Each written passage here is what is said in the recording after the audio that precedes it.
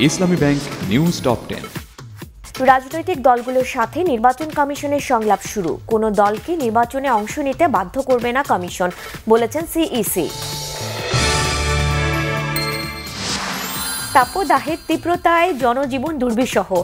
জ্বর, ঠান্ডা, শ্বাসকষ্ট, কাশি, ডায়রিয়ার প্রকোপ, ঠাঁই নেই হাসপাতালে।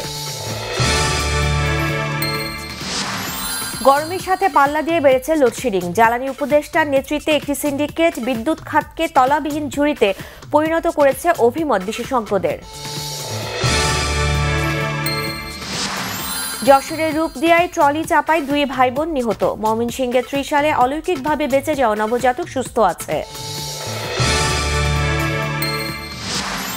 নড়াইলের মহানবীকে নিয়ে ফেসবুকে কটুক্তিকারী আকাশ সাহা খুলনা থেকে গ্রেফতার।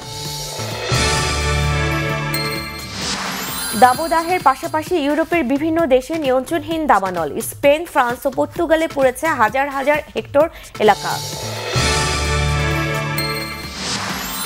বুধবারের প্রেসিডেন্ট নির্বাচনকে সামনে রেখে শ্রীলঙ্কায় রাজনৈতিক দলগুলো ব্যস্ত প্রার্থীর নাম ঘোষণায়।